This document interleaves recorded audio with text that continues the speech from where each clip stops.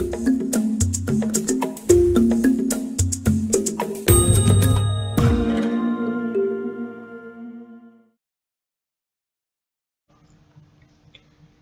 good day.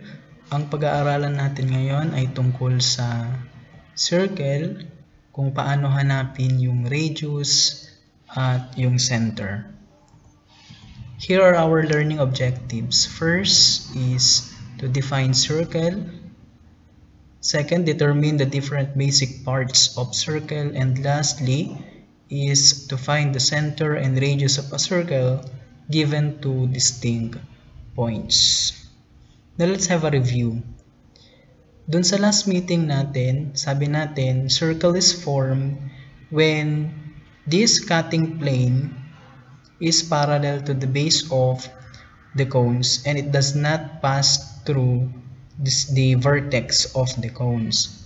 Kasi kapag ka yung, yung plane natin ay eksaktong nandun sa vertex, wala po siyang circle na mabubuo it's only a point. So that is why sabi natin, the plane or the cutting plane does not, must not pass through the vertex, okay, to form a circle. Now, this is the definition of circle. A circle is a set of points in a Cartesian coordinate plane that are at fixed distance from a fixed point. Now, this fixed distance is what we call the radius of the circle. At yung fixed point na HK natin, yun ang tinatawag nating center. Now, here are the essential parts of the circle. First is the center. And center of a circle is point inside it. And equidistant to any point on the circle. Pag sinabi nating equidistant, pare-pareho sila ng distance. Okay? For example, in this figure, this point, okay, which is point C, has an equal distance to this point. Okay? And if we have another points here on the circle, so ang tawag natin dyan ay mga points on the circle. So, if this is the center, dapat yung distance nito tapos dun sa point na yan ay equal lang siya sa distance ng point na ito. Okay? And it must also the same with the other distances of the other points. Okay? So that's all about center. Now let's have this example. So in this figure, obviously, the center of the circle is at 4, 3. Okay? Next, another part of the circle is what we call the radius. And here is the example of radius. So we have, if we have a point on the circle which is P, and the center is at C, okay, so this is the radius of the circle. Okay, so we have also here, we can also make uh, radius here from C to R. We have also CQ. And then, uh, pwede pa tayong gumawa ng another radius. So, yan, yung mga radius natin. Okay.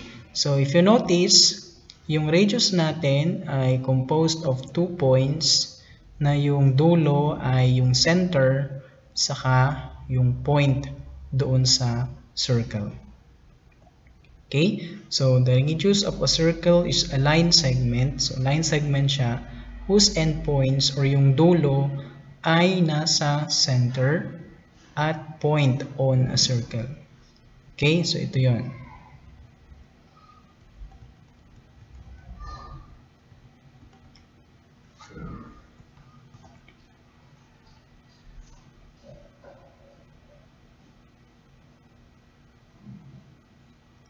Now let's have our example here. So suppose we are given this figure so what is the center of this circle? Obviously, it is 4, 3. Now, another part of the circle is what we call the radius. So, ito yung example ng radius natin. So, from point P to C. So, notice, ito yung center natin. At yung P is a point on a circle.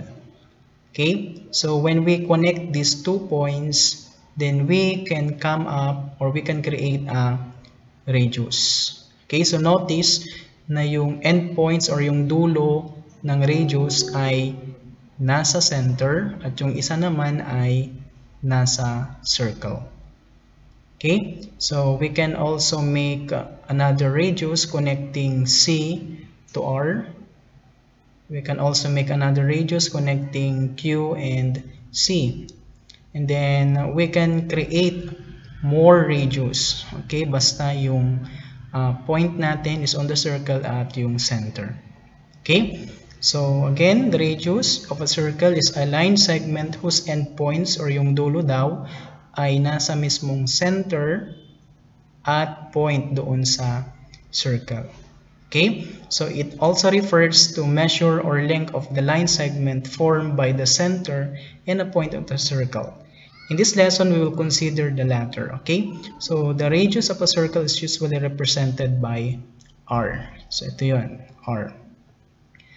Now, suppose we have this figure, okay? So, we all know that we can also create radius connecting point F to C.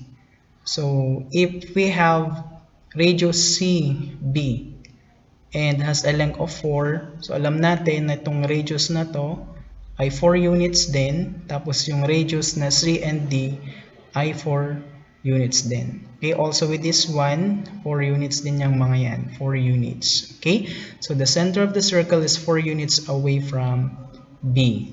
Okay, 4 units. It is also 4 units away from uh, D and also to F and also to this one. So, ibig sabihin lamang yan, lahat ng radius natin doon sa circle ay pare-pareho. Okay, they are all equal. Next is diameter. Okay, so this is the diameter. Uh, makikita natin na yung endpoints ay nasa circle. Yung endpoints, ulitin ko, yung endpoints ay nasa circle mismo. And then, dumaan dapat siya sa center. Okay, or the midpoint ng segment na ito ay yung mismong center ng circle. Okay, so that's diameter. So diameter of a circle is a line segment that passes through the center. So dumaan daw siya sa center at yung dulo ng segment na yon ay dalawang points doon sa circle. So ito yon yung A and B. At yung midpoint niya or yung nasa gitna ay yung mismong center ng circle. Okay? Next, for example, if we have this figure, okay? So, alam natin na yung F and D is a diameter kasi it is a line segment na dumaan doon sa center. Okay? So, yung, yung length ng diameter daw natin ay 8 units. Okay? So, we have diameter DF or diameter FD. Okay, let's proceed. So, we have the distance formula. So, meron yung pagkakataon na tatanungin tayo kung ano yung length ng radius at yung length ng diameter na ang given lamang ay dalawang points. Yun ay yung center at isang point dun sa circle or yung endpoints ng diameter mismo.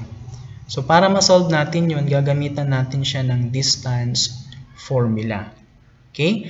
At yung distance formula ay na-derive sa Pythagorean theorem ni Pythagoras. Okay? So, at yung distance formula natin ay ito. So, we have d equals the square root ng x sub 2 or yung dalawang x natin. Then, square plus yung dalawang y natin, ipag-minus lang, then square natin. Then, get the square root. Okay? Kung saan yung d natin is the distance between two points at yung x1 or x sub 1 tapos x sub uh, y sub 1 natin is yung first point. At yung x sub 2, y sub 2 ay yung second point. And next, so gagamitin natin yung distance formula.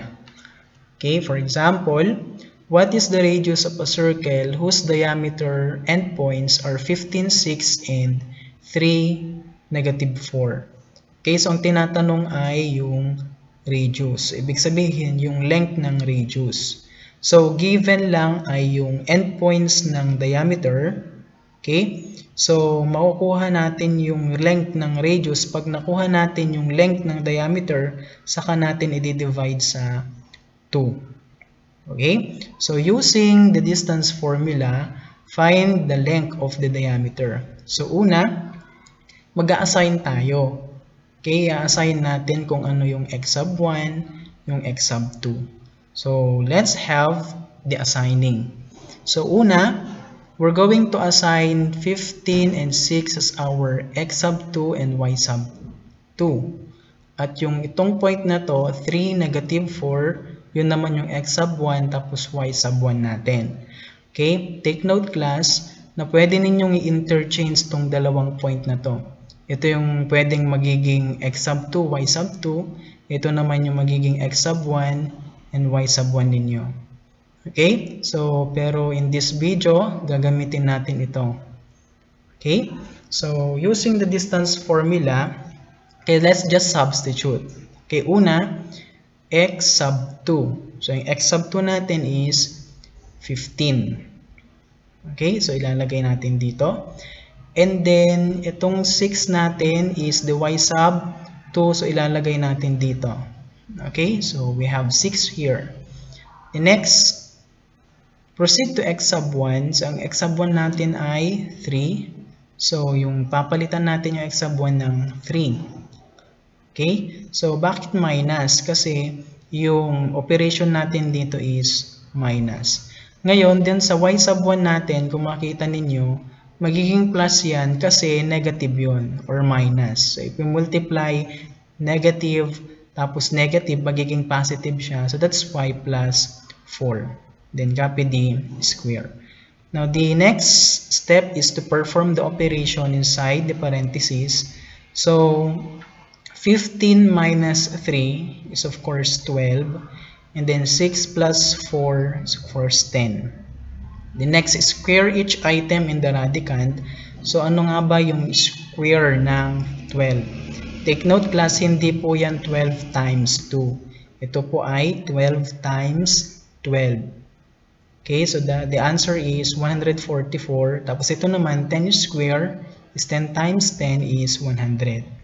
Then the next step is to simplify the radicand.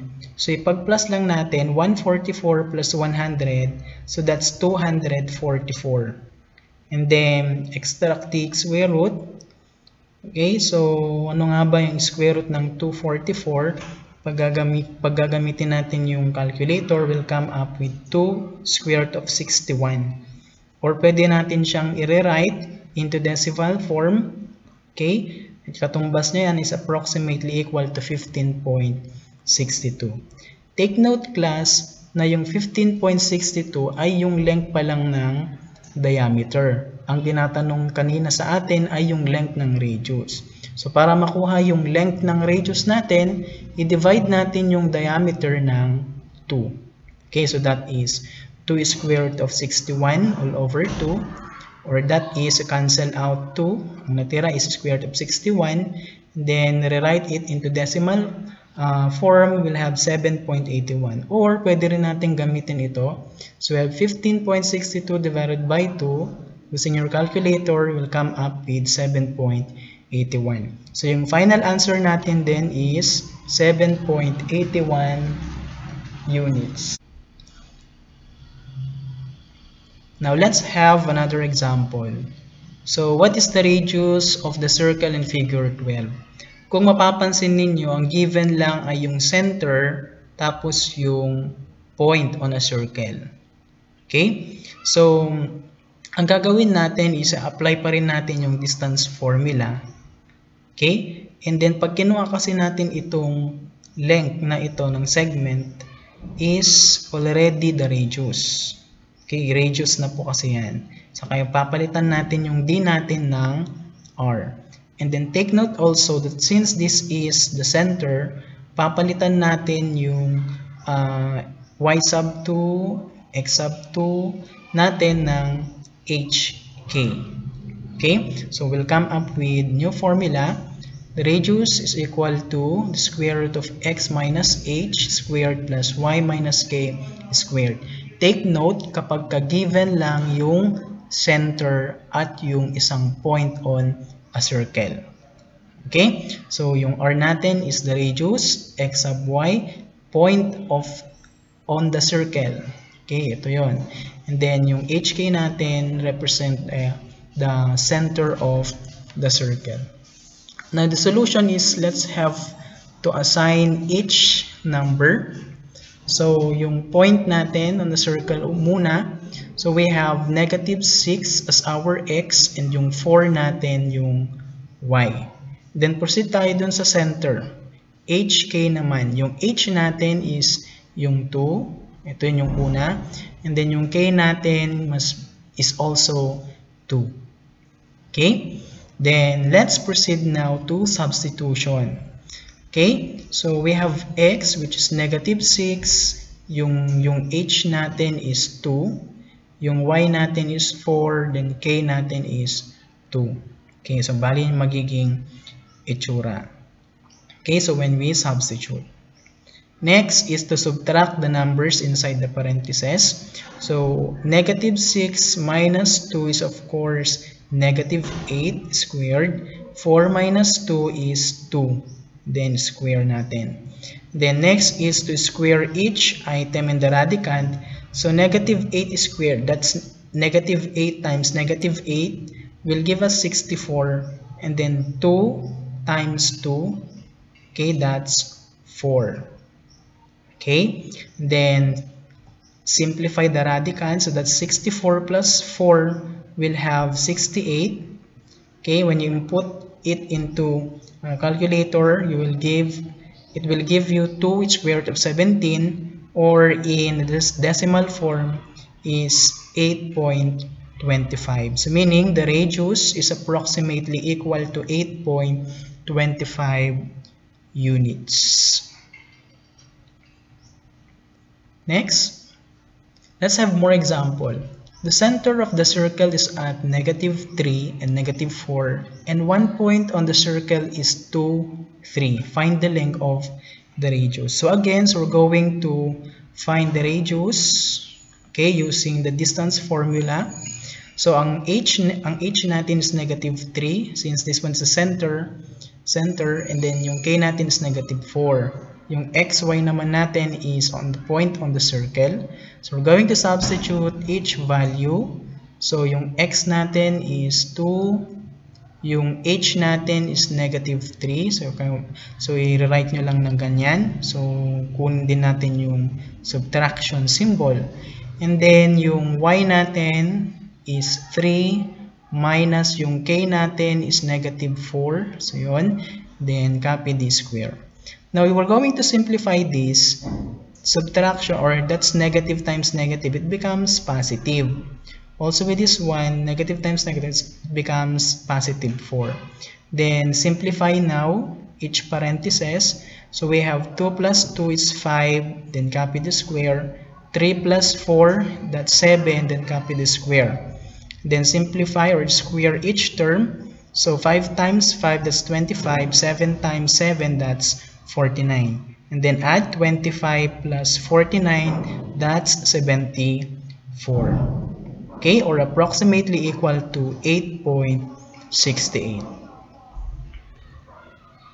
Now, when the endpoints of the diameter of the circle are identified, we can use the midpoint formula to find the center. So, for example, in this um, line segment, pag given daw yung dalawang point doon sa line segment na ito. Okay? And then, makukuha natin yung gitna ng line segment using the midpoint formula. So, yung midpoint formula natin is yung x, para sa x, i-add lang natin yung dalawang x, value ng x, then divide by 2. Also with y, okay, add yung dalawang y, then divided by 2. Or, okay, pag-iwalayin natin, we have xm, kunin ito, i-add yung dalawang x divided by 2 and also to y. Okay? So, yan. Yung x sub m natin, y sub m, coordinates of the midpoint. The next, let's have this example. Suppose that we are given the circle and the midpoint or the, the center is at hk. Okay, so t, if you're going to connect this, we'll have, of course, diameter. At yung diameter natin, sabi natin kanina, kanina, the midpoint is at the center also. Okay, so that is why yung center natin is the midpoint. So, yung h natin would be x sub 1 plus x sub 2 all over 2. At yung k natin, ito yon So, y sub 1 plus y sub 2 all over 2. And let's have this example. Find the center of the circle where diameter has endpoints negative 1, negative 1, negative 4, and 5. So as you notice here, kung makikita natin, so ito yung dalawang point. Okay? Dalawang points rather. To find for the center, of course, kukunin natin yung midpoint gamit yung formula. Okay, so let's assign x sub 1, y sub 1 itong point na to. And then, ito yung x sub 2, then y sub 2. So, again, you can interchange these two. Pwedeng ito yung maging x sub 2, y sub 2. Ito yung x sub 1, y sub 1. So, depende sa gagamitin ninyo. Though, uh, parehas lang din naman yung kalalabasan na sagot. So, let's have this h muna. So again, the formula for h is x sub 1 plus x sub 2 over 2. So pag-adin lang natin yung dalawang x. So that is negative 1 and negative 4. Okay, so what is negative 1 plus negative 4? That's negative 5 all over 2. So pwede na ito yung maging sagot natin. Or pwede rin naman sa decimal. Now let's proceed to k. Ang k natin is y sub 1 plus y sub 2. So, i-add lang naman natin yung dalawang y. So, that's negative 1 plus 5. Now, simplify. Negative 1 plus 5, of course, positive 4 divided by 2. And then, simplify this. Negative uh, 4 divided by 2, that's 2. Now, what is the center then? Using our formula, we have negative 5 over 2 and then 2. And then, ito yung magiging center. Now, let's have this practice exercise. Find the radius of a circle if its center is 2, negative 4, and 0.42 on a circle. Okay, so again, given the center, that's HK at yung point natin na circle, that is XY. Okay, using our formula, Okay, so we'll have yung, yung x natin which is 4. Then yung h natin is 2. So let's substitute. And then we have also our y which is 2. And then yung k natin is negative 4. So bakit naging plus yon? Kasi this one is minus, then this one is negative. We combine these two or we multiply these two, it becomes positive. So, pag, ang tandaan nyo lang, pag negative yan, pag may negative na given, magiging plus. Okay? So, next. Simplify. 4 minus 2 is of course 2. 2 plus 4 is 6. And then get the square of the two terms. We have 2 times 2, that's 4. 6 times 6, that's 36. Then 4 plus 36 is square root of 40.